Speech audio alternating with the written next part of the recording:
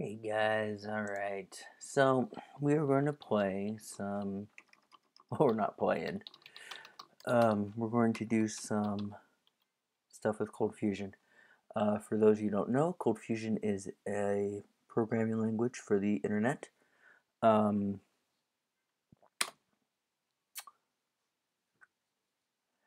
it runs off Java.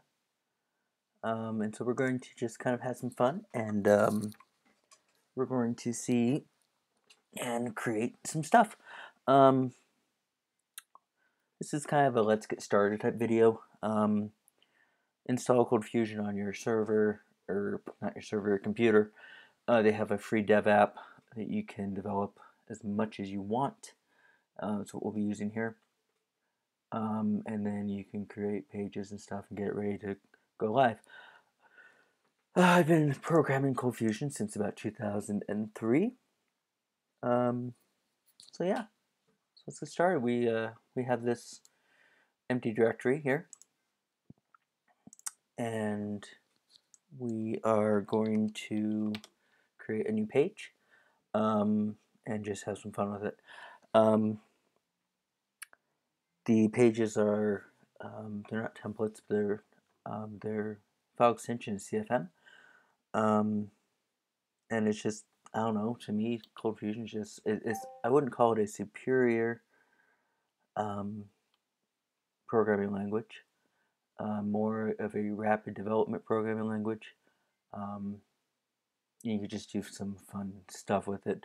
So we're going to just do what we uh, usually do with any type of new thing is a hello world, right? Right.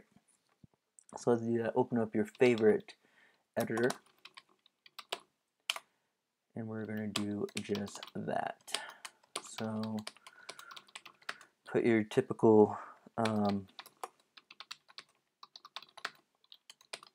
your typical should have this ready. Um, have your typical setup for a page. You don't have to do anything special to differentiate between your HTML and ColdFusion code really um, there's certain things that you'll you'll see. So let us, as you can see, if we just do this, refresh it, bam, um, we have our page. So let's let's add some things in here. So we'll just add a heading.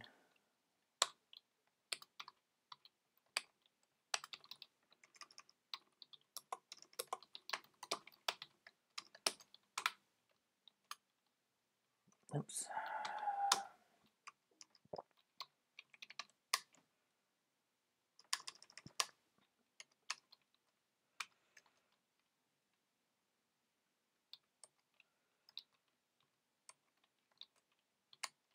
Okay.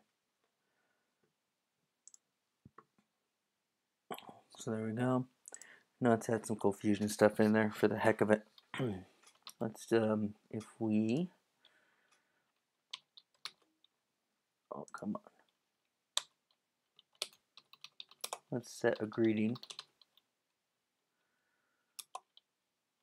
We'll set that to hello world.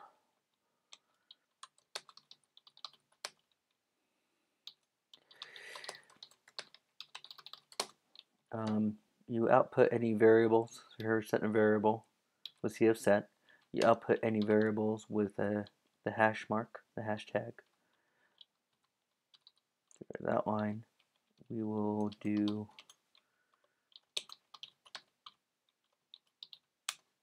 and if we refresh, same thing.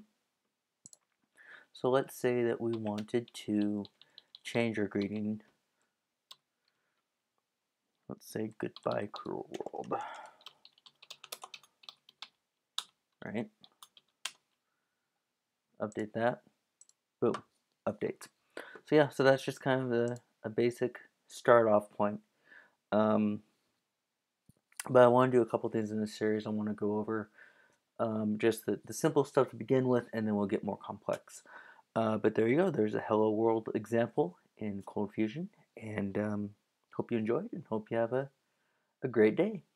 Keep on coding.